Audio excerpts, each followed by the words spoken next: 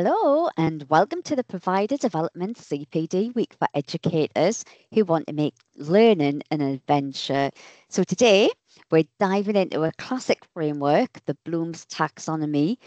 Joining me in conversation is Gemma, a fantastic teacher ed trainer with a passion for creative lesson planning. Gemma, thanks for being here.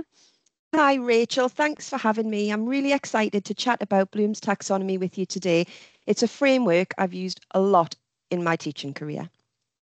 Absolutely. So let's start with the basics. Can you explain Bloom's taxonomy for me and also for listeners who might be new to it?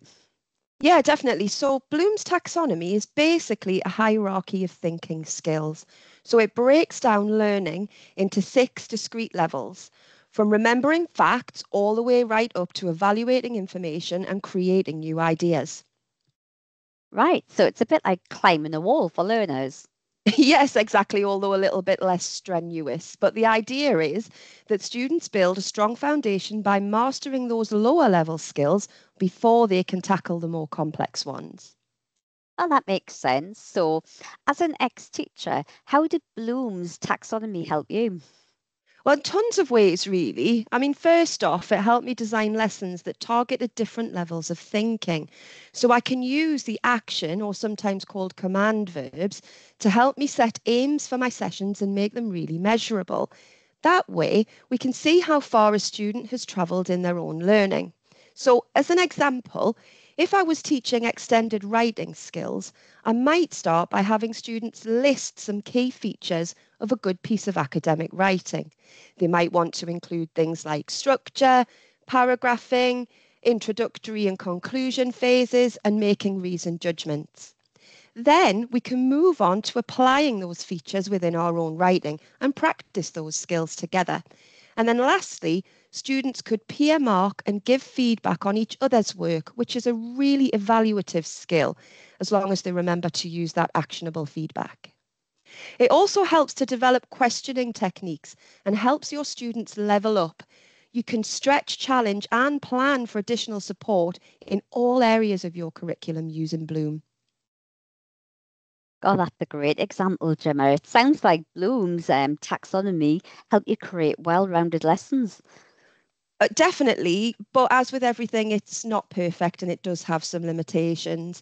There's a lot of sort of discussion out there about how it's quite rigid, and we all know, don't we, that learning isn't always a neat step by step process. Sometimes students might use higher order, th- order thinking skills even when they're still acquiring that basic knowledge, but that's okay. It's all about supporting skills development at any level, really. Interesting point. Um, are there any other drawbacks? Yeah, there is a risk of overemphasizing the higher levels of the taxonomy.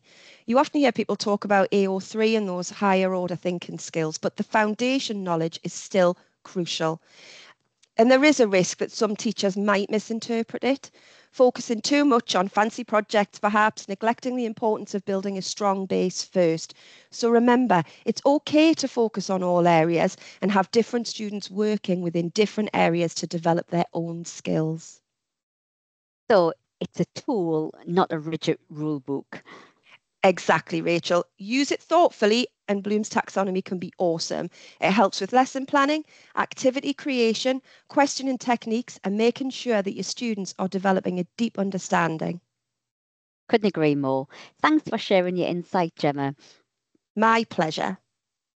Okay, listeners, if you're interested in learning more about our um, our using Bloom's taxonomy in your classroom, we do have a resource which you can access from um, the link.